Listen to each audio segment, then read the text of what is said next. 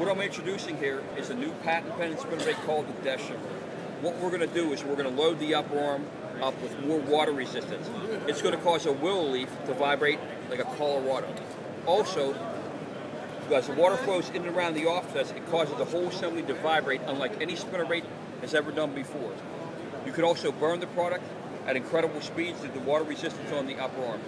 This is the patent pending Death. There's no spinner like it in the world, and it will cause more vibration than any hardwire spinnerbait on the planet.